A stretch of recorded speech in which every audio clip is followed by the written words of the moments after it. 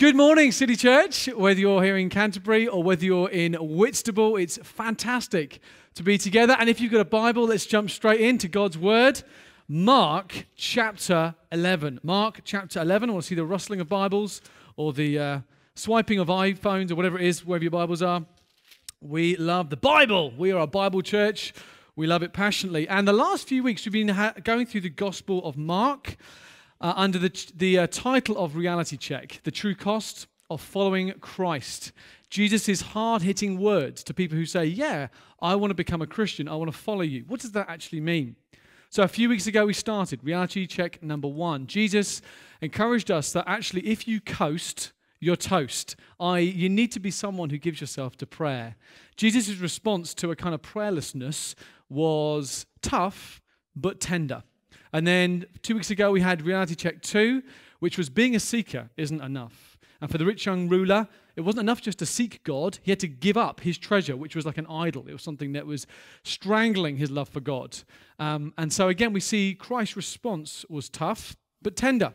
And then last week, reality check three was the whole thing of it's not about you. Pride was the issue we looked at last week, and Christ nailing that. And again, his response was tough but tender. Today, however, the issue that Jesus puts his finger on, we see a response that isn't just tough but tender. It is tough and terrifying.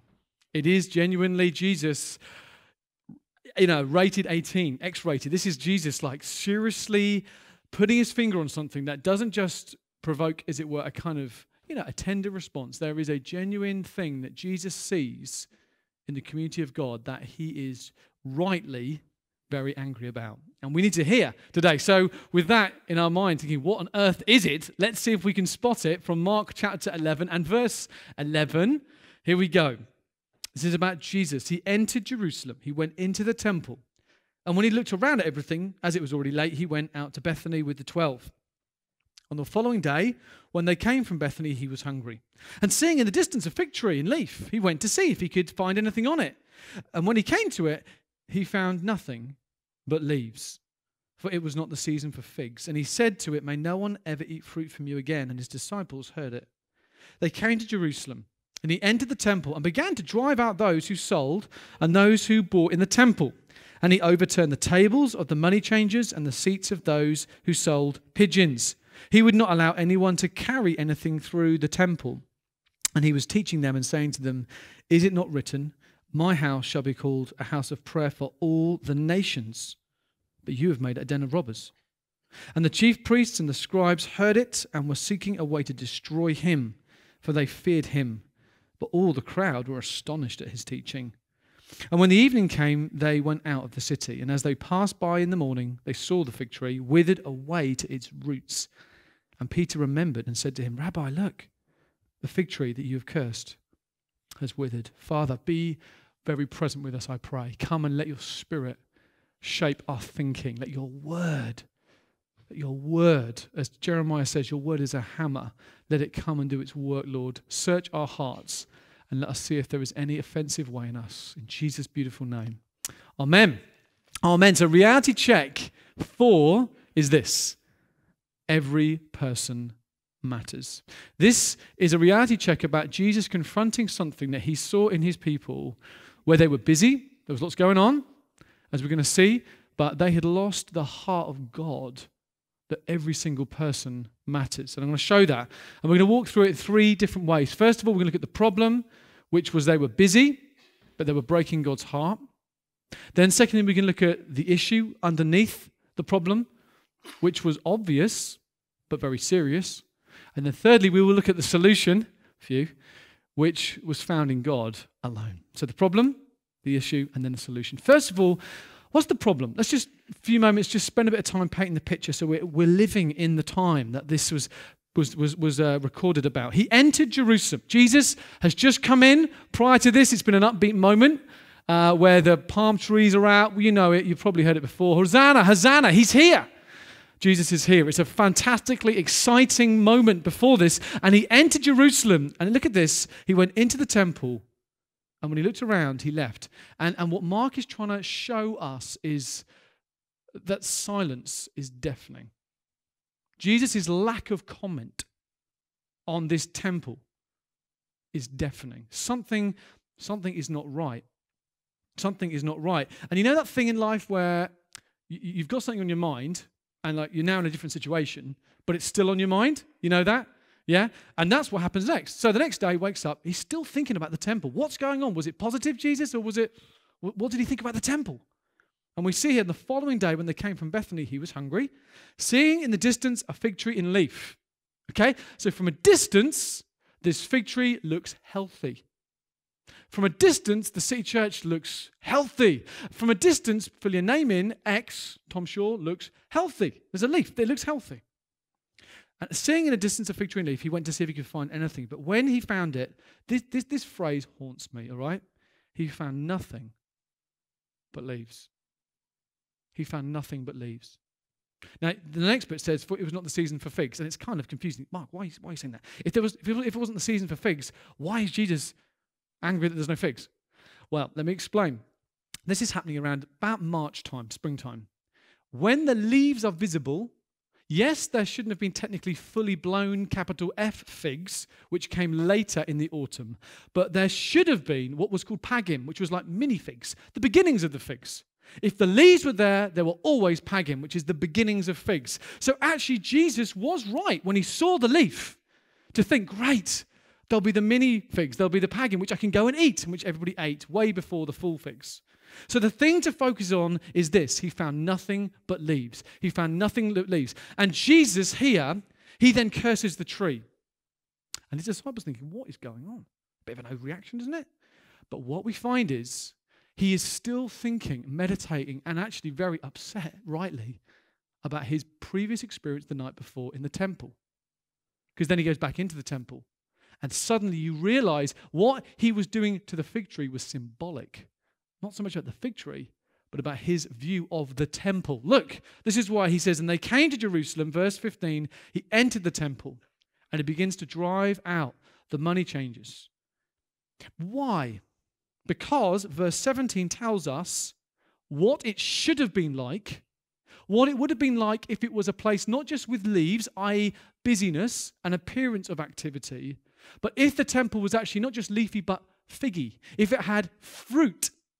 This is what it should have been like. Look, verse 17, Jesus quotes from the Old Testament what it should have been like. This is God Himself about His temple. What words did He say? He says, My house shall be called a house of prayer for all the nations. So those are from a, a guy called Isaiah, hundreds of years earlier, quoting God's heart for the temple. It was meant to be a place that wasn't just busy, but it was bursting. It was meant to be bursting with people from all nations. The emphasis here is not so much on prayer, but on that prayer for all the nations. That there should have been a, a, a activity and a, and, a, and a deep sense that at the temple, yes, the temple was about Israel meeting with God. We all know that, okay, from the Old Testament.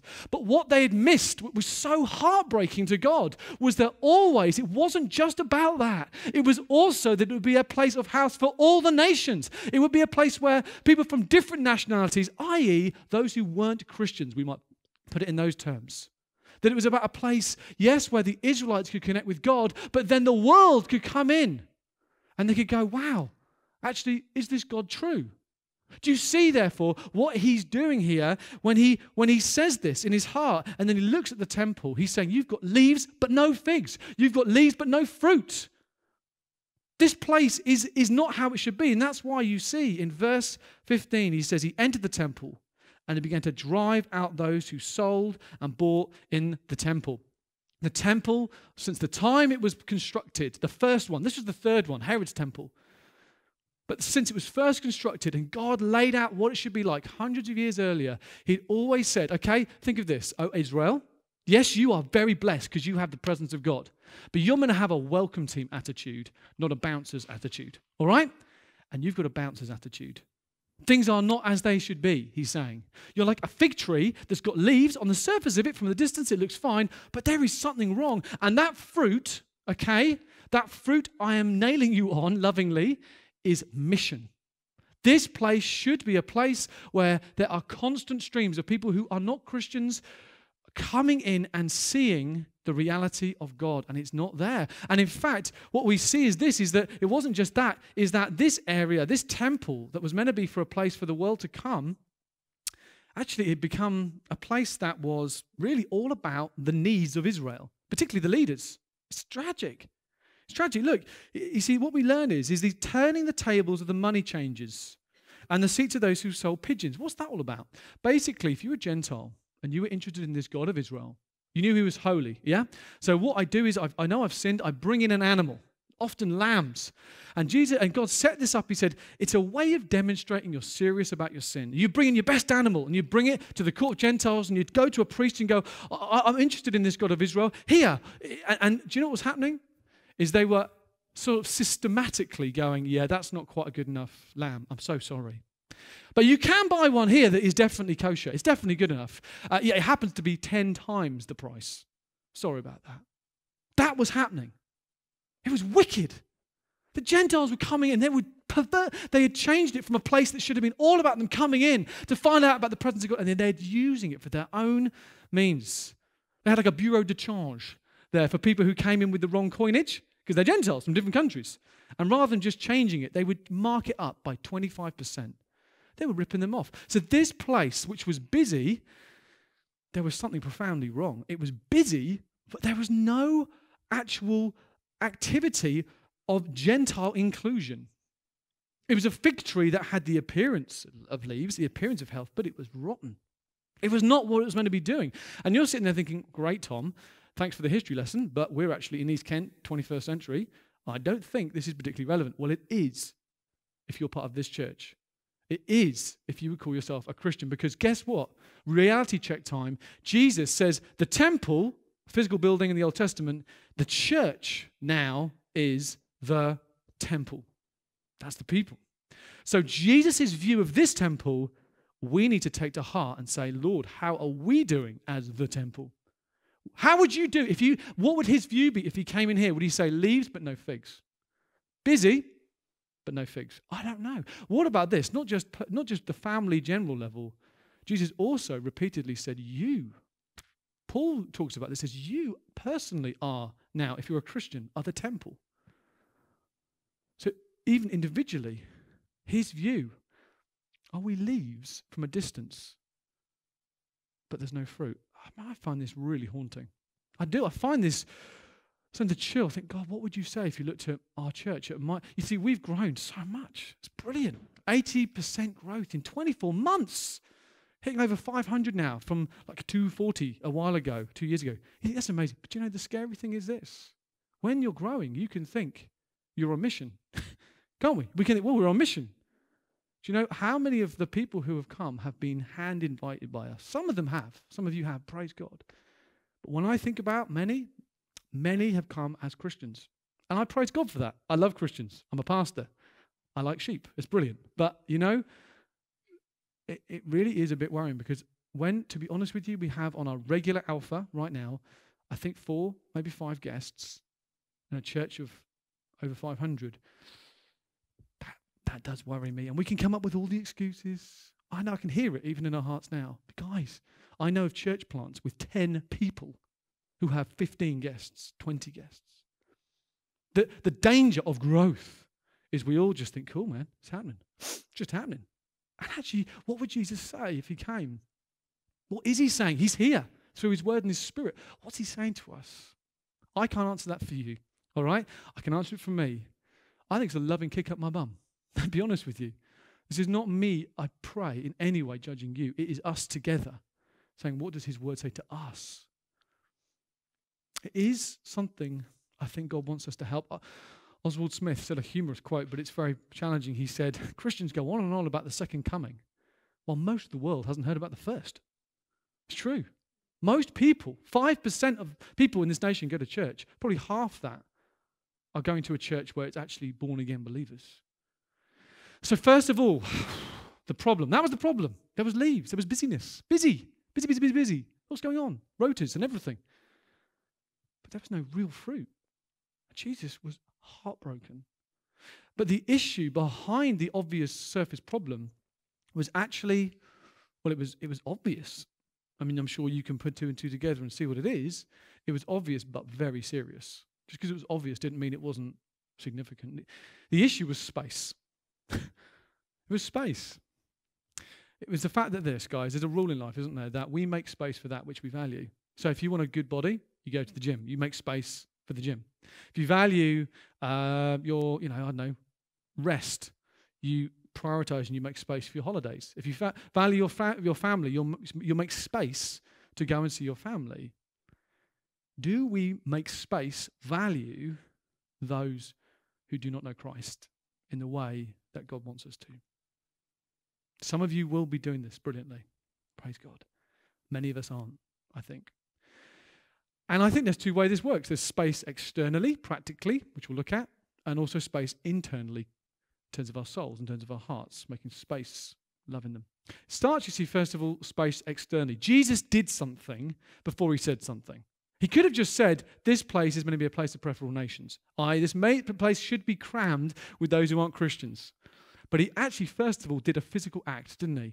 He was demonstrating there's a physical, practical element this place, this court of Gentiles, should actually be a place where there's a lot of space for people who don't know God to come.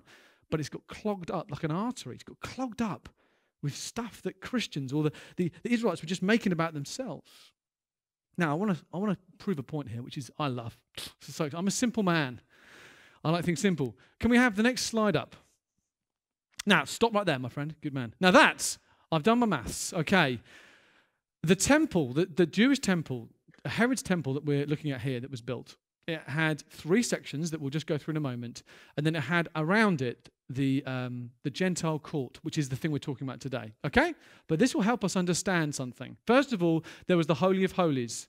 Second section of the temple was called the Court of Israel, which was the Jewish men could come. Third section was the Court of um, Women, which was where the Jewish women came. Now, stop right there. Stop. Don't press any buttons. Now, at this moment, I in my head have always thought the court of Gentiles, which is that area we're looking at where the Gentiles could come in, was like a kind of just a perimeter around it, which is kind of true. I looked in my ESV study Bible, brilliant purchase by the way, and I looked at various commentaries, and we can be very clear about the dimensions that this temple was, which God had asked and specified. Are you ready for this? Next slide, please. Bosh! Wow! Can I have a wow? That's a wow moment. That's amazing. So, unless I'm just the only one and I've been a bit thick, which is very possible, you got the temple itself on the left, which was 100 yards deep by 150 yards long. The court itself was 500 yards long with 350 yards wide. That is 35 acres. 35 acres! That's like 35 football pitches. Now, I love God. I think God has got a sense of humor. So he's like trying to make it obvious to the people of Israel, to the people of City Church, how much do I, how much space do I want to make for those who don't know Jesus? Is it a little itsy witsy perimeter bit? It's massive. I love it. It's so visual. I'm a visual learner, and this feeds me. This helps me. This challenges me in terms of how much God physically. Now, this is why we've changed church in many ways. We've done things, we've changed over the last few years. Sundays used to be about really, they were very, we had lots of blind spots. And it was kind of just about us Christians. We all knew where the loos were. We didn't have to constantly be welcoming everyone. We, you know, we it was kind of about us. And we felt God say to us, I'm sending you hundreds of people every year who don't know Christ. You've got to put up signs where the loos are. You've got to explain why you're doing what you are. You can't just make this about yourselves. As much as I love you, my space, my heart, look at the size of it. So we change things, praise God. We envision, again, tonight, we're not just going to gather and worship God, although I love that. We're going to go to a pub. Why? Because God wants to make space so that those who don't know Christ can come to a place that's more their territory. That's why our small groups have changed from meeting 52 weeks of the year to 30 weeks of the year. Why? So we can just have a bit of time off and watch Sherlock? No, because at Christmas, when we break, Easter, when we break, and summer, when we break, that is when so often our neighbors, our friends, and work colleagues are in holiday mode and I'm able to meet and we can go, hey, I've got space to meet you.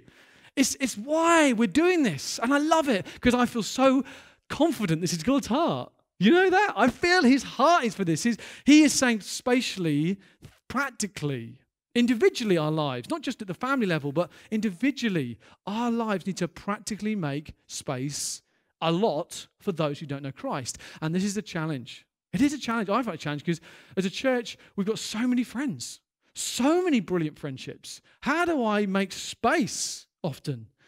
You know, I mean, I just a little thing like just a couple of weeks ago, Daisy was invited to a, a party. And often at parties, you, you'll find is that mum and dads have just drop the kids and then go.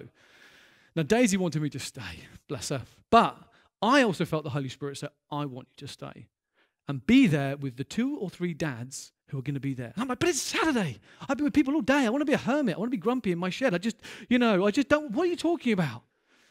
But I, I, I thought, no, this is right, you know. And, and I went, had an amazing time. And it was, there's no great, by the way, crescendo ending. Suddenly, we all in the middle of the woods were led to Christ. You know, it wasn't that. It was just me being normal, being friendly, and saying, yeah, yeah, I'm part of a church. Yeah, it's, oh, yeah, it's not like maybe how you imagine. Actually, yeah, it's like this. And what I'm saying is, it's making space. When we talk about that thing of vest and invite, yeah, invest and invite. For many of us, the next few years are going to just be investing. Yeah, you know, the average person in the UK takes four years for them to become a Christian from first meeting a Christian. So many people are very cynical about church. They think it's a bit weird, a bit wacky. And so it takes years. So for many of us, this is just a season of going, Lord, I'm not going to force things. I'm just going to start investing.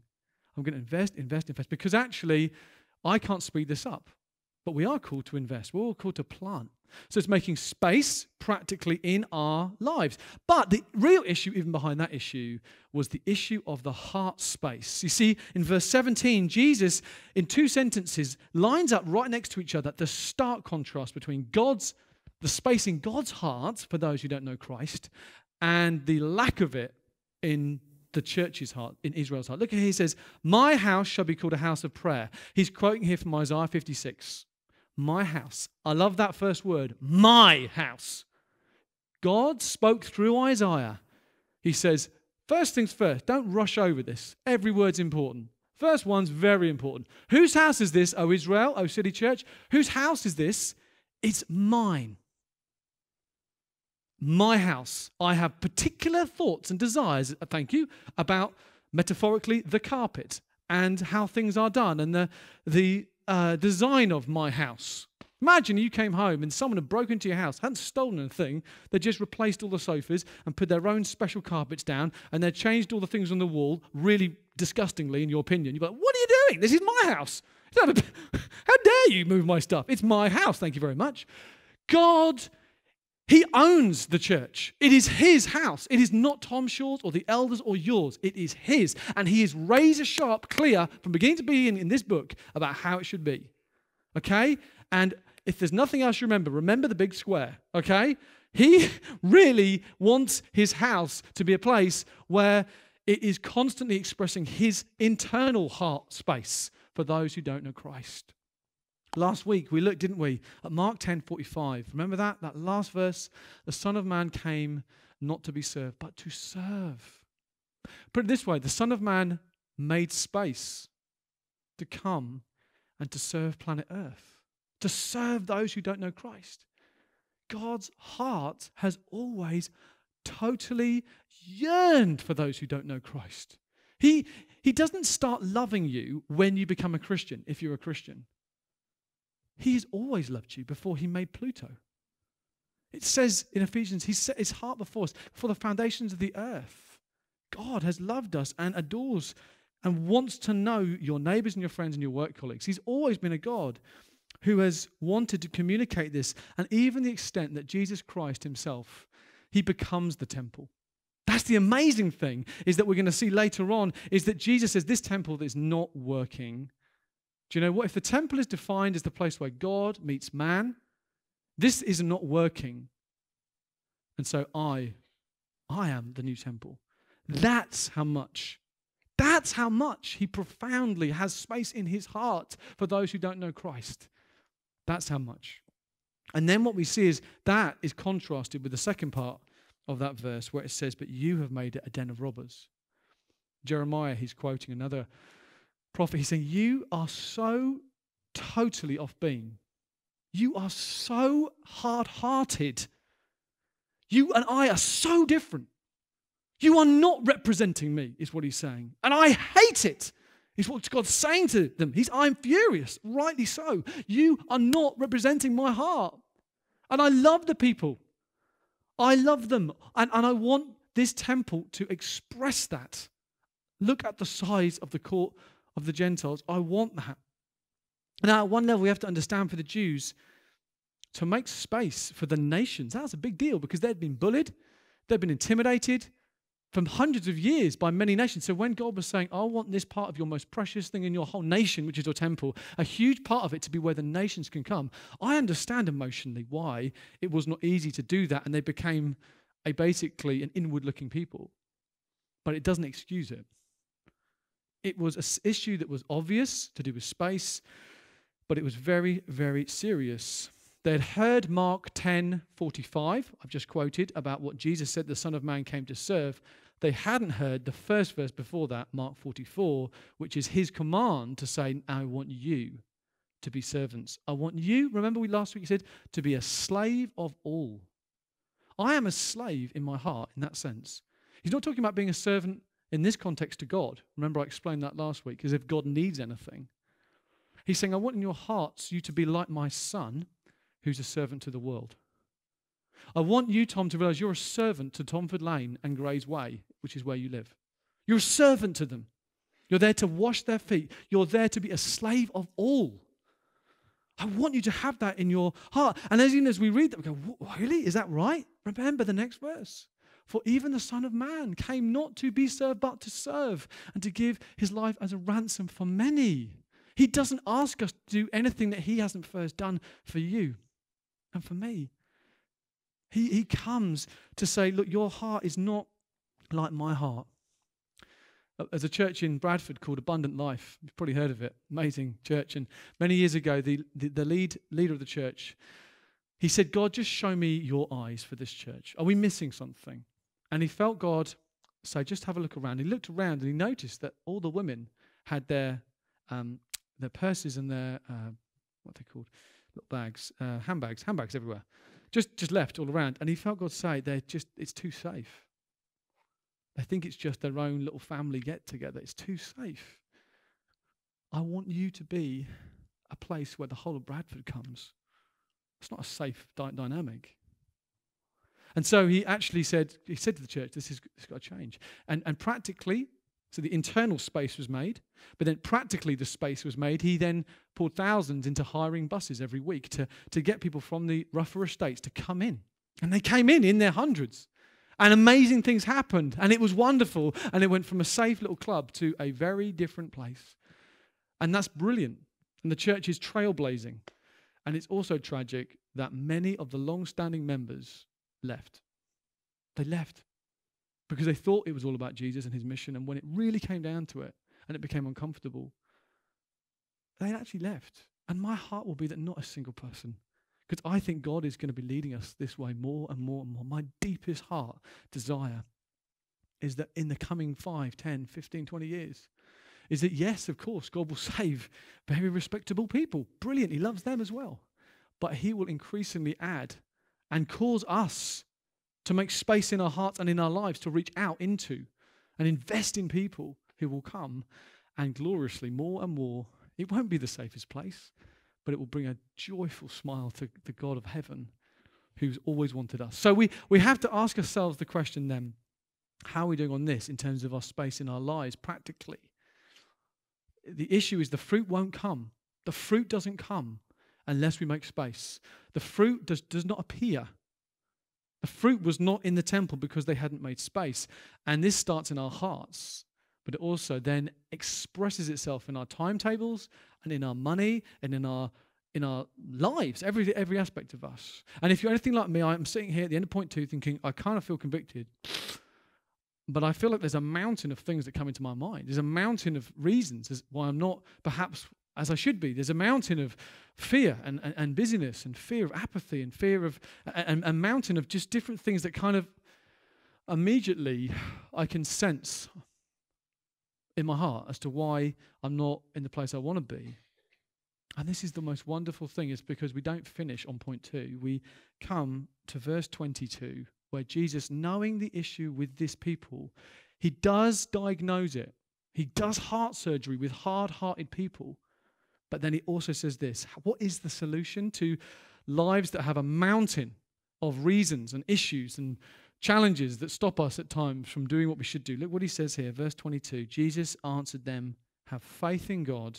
Truly I say to you, whoever says to this mountain, be taken up and thrown into the sea, and does not doubt in his heart, but believes that what he says will come to pass. It will be done for him. Therefore, I tell you, whatever you ask in prayer, believe that you've received it, and it will be yours. Hallelujah. And whenever you stand praying, forgive. If you've anything against anyone, so that your Father also who is in heaven may forgive you your trespasses. What he says here is this what I'm asking you to do, what I have seen in the temple, what I've seen in the people that is really wrong. Busyness, but you're breaking my heart. This is the issue. You can't solve this yourselves. I didn't say you need to do more alpha courses. You need to you need to get on your knees and, and just try harder. He doesn't say that. He lifts their gaze after saying this is not how it should be, he lifts their gaze in mercy and tender and kindness as only Jesus does, says that's the truth. But this horizontal mission deal, you're not going to solve just by the pea shooters of trying hard. You need to bring out the big guns of prayer. The action he gives us is prayer, the activity is prayer, but the attitude is faith praying. Not just timid, but it's a lifestyle where, yes, we face these mountains in our soul that stop us from being who we should be, that stop us from being those who we say we believe in the reality of heaven and hell. But we, at times, most of the time perhaps, don't actually operate in a way that necessarily demonstrates that. Why not? What is going on? And what he says is here listen, don't gloss over this. Oh, I've heard this, you know. Have faith in God. It's general. What's he talking about? It's not general, it's specific. It's his gold dust to us. Prayer, but in the attitude of faith. And I think there's several mountains that I see in my soul that mean I at times don't have space for those who don't know Christ. First of them, the big mountain is apathy. I see it in my soul and I hate it. I absolutely loathe it. Am I the only one? Or when I think about the fact that my neighbors, my friends, around this area, the mums, the dads at the school gates, the majority of them do not know Christ in any way, shape, or form. And I, my apathy is just a horrendous thing. Um, Oswald Smith says this Oh, to realize that souls, precious, never dying souls, are perishing all around us, going out into the blackness of darkness and despair, eternally lost and yet to feel no anguish, shed no tears, know no travail, how little we know of the compassion of Christ. If you in any way identify with what he's saying, please don't just switch off and think, oh, well, hmm, what's for lunch? This is not right, is what he's saying. He's saying it through, you're not meant to be in that place. That's a mountain that needs to be cast into the sea. And the only way you can move a mountain, my friends, is not by trying harder, but he's saying, God, I have faith in you. Do you see that? He doesn't say, have faith in yourself positive mental thinking. You can do it. Yeah? With wise words, you can win people. He doesn't say that. Have faith in God. Yes, you are like that.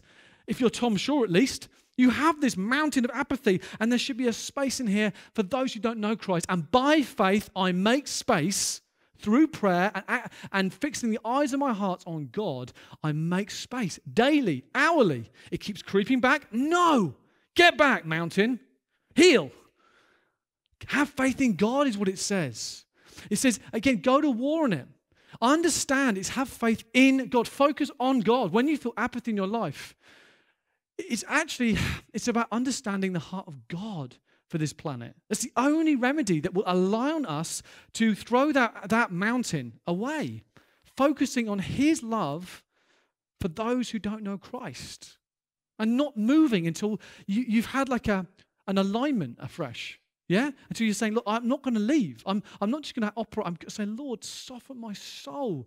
Lord, do something. Let me not be just like a, like a robot who walks around with no soul, like the Tin Man, you know, no heart. Lord, change me.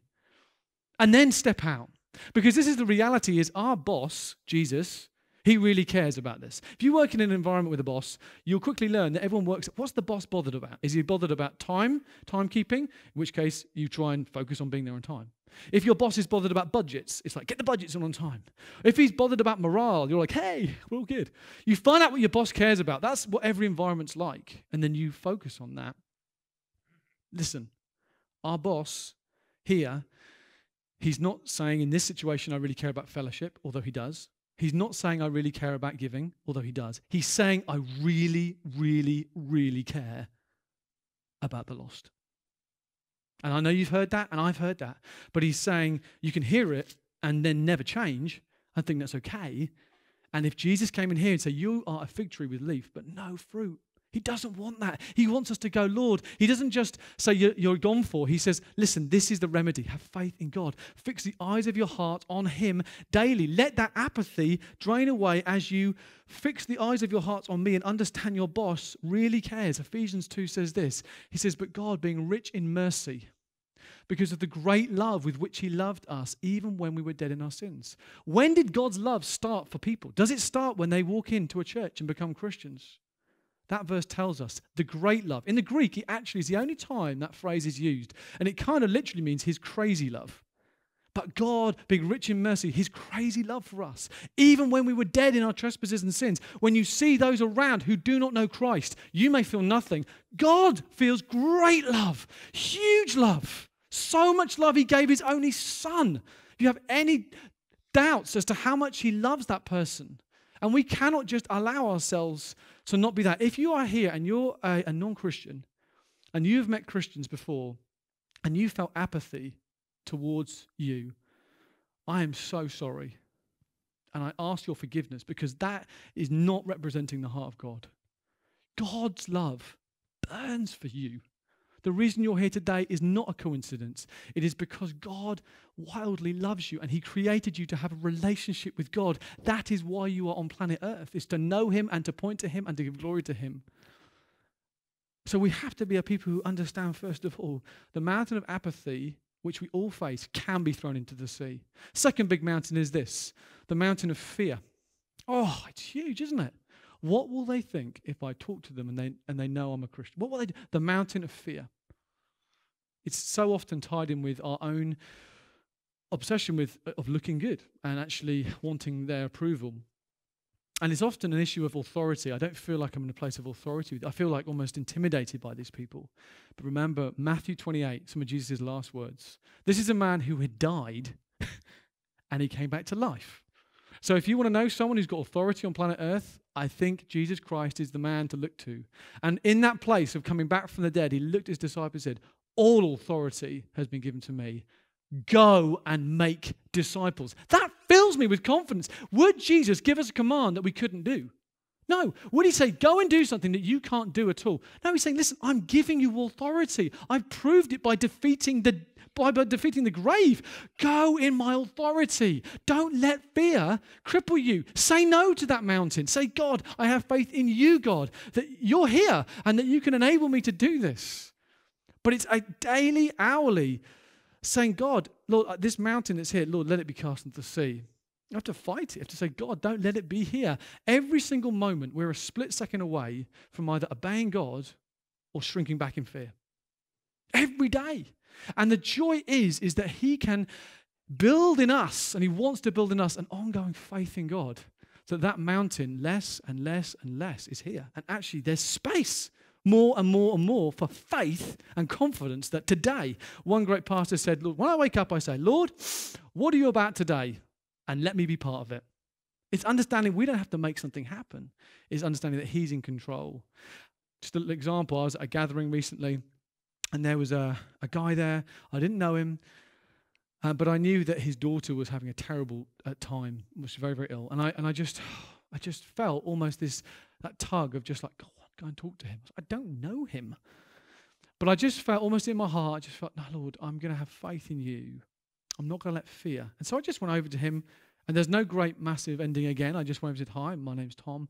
I just heard about your daughter. I just, I just want you to know I'm really so sorry. I'm, I'm you know, I'm thinking of you a lot, and if there's anything I can do. And this guy, kind of quite a big guy, quite a serious looking face, to be honest with you, kind of a bit scary.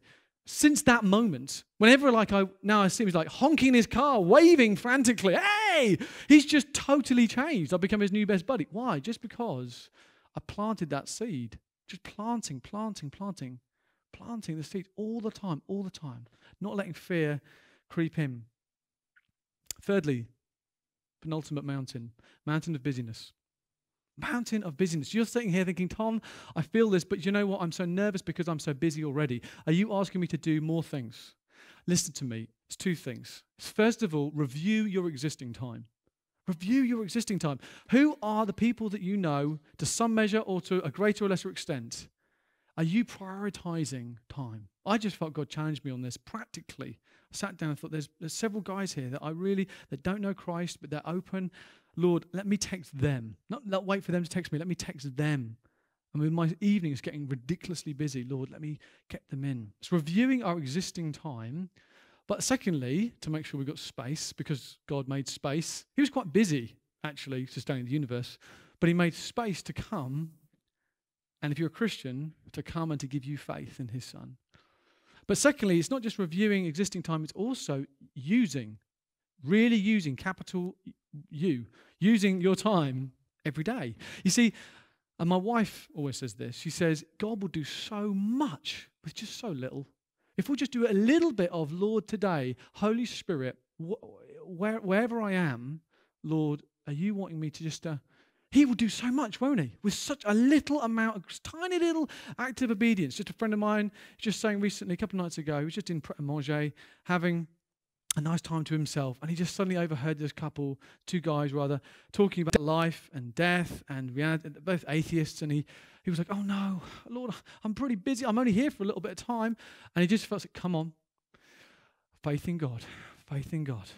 And so he just, he just said, Guys, sorry to interrupt, just to say my X. And uh, have you heard of Alpha? It's this great course. And he just, and they didn't say, Oh yeah, let's come. He was there diligently listening to what the Spirit was saying. He was using the time that God had gave him. God has placed you in in wonderful positions that are unique and specific. And he's not saying, right now, just give up all your jobs and just walk around everywhere necessarily. He's saying this, wherever you are, to always be thinking that business is not actually, it's not a mountain that should block you from being hugely effective in his hands. Mother Teresa said, Don't worry about the numbers when you think about all those who don't know Christ. Don't worry about the numbers. She said this She said, Just love one person, one at a time. I'll start with the person nearest you. Uh, D.L. Moody, a guy from the past, an amazing preacher, he said this. He said, If I can get a man to talk about, think about death for just five minutes, I'll win him every time. I'll win him. He's just saying it doesn't take long. See, it's true. It's true. If you're someone and you just step out, you know, this, I found this hugely encouraging. Eric Harmer, who leads Barton Evangelical Church, great church in Canterbury, he recently said to his church, guys, you're all busy, I know that. And you're thinking, oh, it's just a bit overwhelming. Hey, listen, if you just said, let's, let's believe to see one person, us lead one person to Christ every three years. That's not exactly kind of revival, is it? Let's be honest. One person each every three years. Do the maths. Okay, we're a church over 500 now. Let's say 400 adults who are definitely, you know, alive and ready to go. So if we all led one person to Christ every three years, let's do the math. First three years, we go from four to 800. Next, in six years, we go from 800 to 1600. In nine years, we go from 1600 to 3200.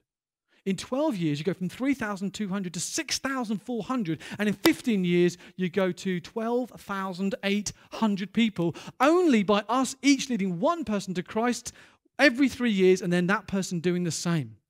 Just imagine if Barton Evangelical Church see that happen. Just imagine if City Church. Just imagine if T- T- Tankerton Evangelical and St Alfred's and Vineyard and SMB and all the churches across. It. Just imagine if we started to actually go one person every three years. Come on, let's do this. This isn't like we can often think, oh, it's just overwhelming. There's so many. Yes, there are lots, but you do the maths and you realize that actually we can see massive impact if we say, God, I'm going to use my time. Busyness mustn't clog our faith in this. And finally, the final mountain is this the mountain of hurt. And that's why he finishes here. When you stand praying, forgive. You think that's a funny thing to end with, but actually, guess what? The, the, the Christians that he was talking, that Mark the gospel was sent to, were Christians in Rome. And Christians were persecuted, they were set alight to, they were used as torches. And so he knows that a huge, a huge mountain that we can have that stops us at times from really being on mission can be the mountain of hurt. And he says, Don't let that happen. Don't let the fact that you can get hurt by people when you, when you maybe share with them the gospel and they feel they reject you and they talk about you and they, they really are not nice. Or even maybe family members you've grown up who have done awful things perhaps and you think, the idea of me sharing my faith with that person. He says, Listen, I know it's hard. I know it's hard, but if this final mountain, if you allow that final mountain not to be there, but to say, God, I have faith in God, which means this I remember I am first of all a forgiven one. I'm a forgiven one. Roy Lessin said this. He said, If our primary need as people on earth was information, God would have sent an educator. If our primary need was technology, He would have sent a scientist. If our primary need was money, He would have sent an economist. But God sent His Son because our primary need was forgiveness and we needed a Savior. Uh, when we understand that we are, as Christians, primarily forgiven ones, it means that even that mountain of hurt, where we feel someone has so hurt us, even that won't stand in the way. When we realize how much grief we cause the heart of God, and yet He forgave us, it's profound. That, that really means there's nothing that can stop a church like that. It's like a juggernaut. There's no mountain that can get in the way. If that one can really go, then, then anything can happen. And I finish with the story to prove it. Chuck Colson, American pastor, works in prisons a lot in America, had this 18 month discipleship program for prisoners who became Christians. At the end of it, they'd have a big celebration where everyone would come in and they'd celebrate the progress they'd made. And there was one guy who, who, um, who was in prison I think, for 15, 20 years for killing a 20 year old girl. He was a non Christian. He would always deny he did it, but everyone knew he'd done it. Several years in, he, he met Chuck and he became a Christian. And he realized he had to admit that he did this. And he admitted that he killed this, this 20 year old girl, he murdered her. Anyway, on the day of his graduation celebration, what was so stunning was as he stood up and talked about Christ and how much it changed, there in the crowd was a middle aged, stately looking woman who was the mother of the daughter that he had killed. And what Chuck found out was that she had found out who this guy was. And she said, Lord, first give me the grace to forgive him, but then I pray you forgive him, Lord. Please save him. And her prayers, like arrows to the very throne room of God, she was doing this. She was saying, I'm not going to let that mountain, that one man who is the least on planet Earth I want in my emotional sense to become a Christian, he needs the love of Christ.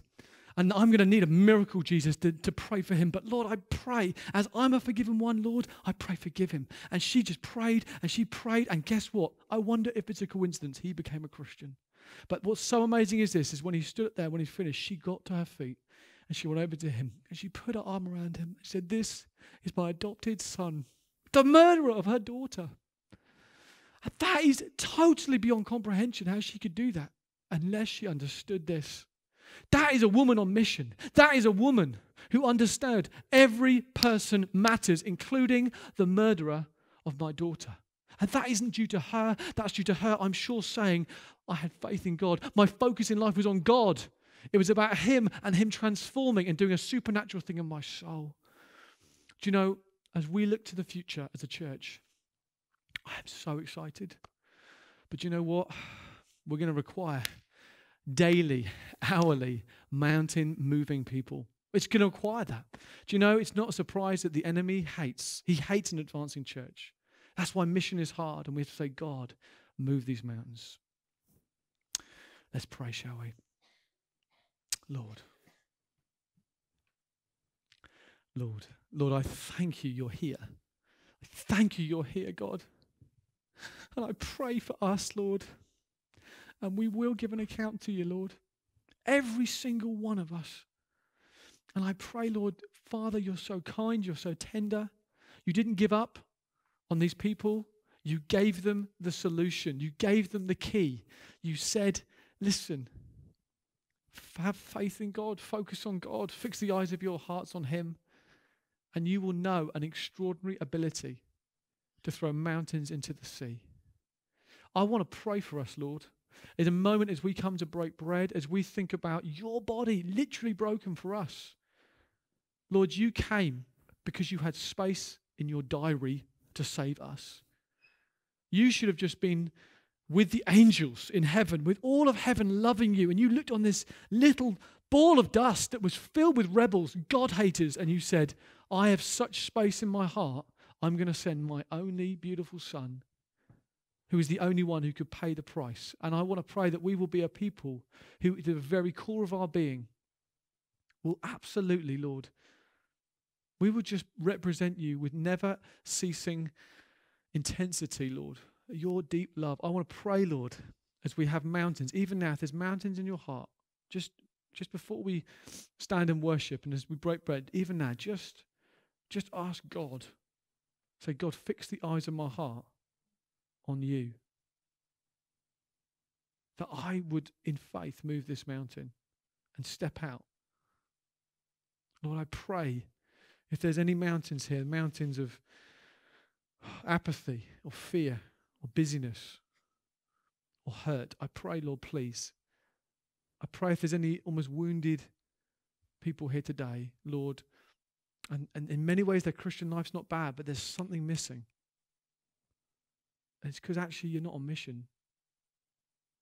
You're not actually on mission. And God loves you and He's not condemning you. He's highlighting it so you can, as of this day, say, God, I'm not going to let others just be those that bring people. I want to lead the charge. Lord, I've only got a brief moment on this earth. Lord, I pray, let us totally be in line, emotionally, practically, with your huge space in your heart, the immensity of your heart for the lost. In Jesus' name, amen.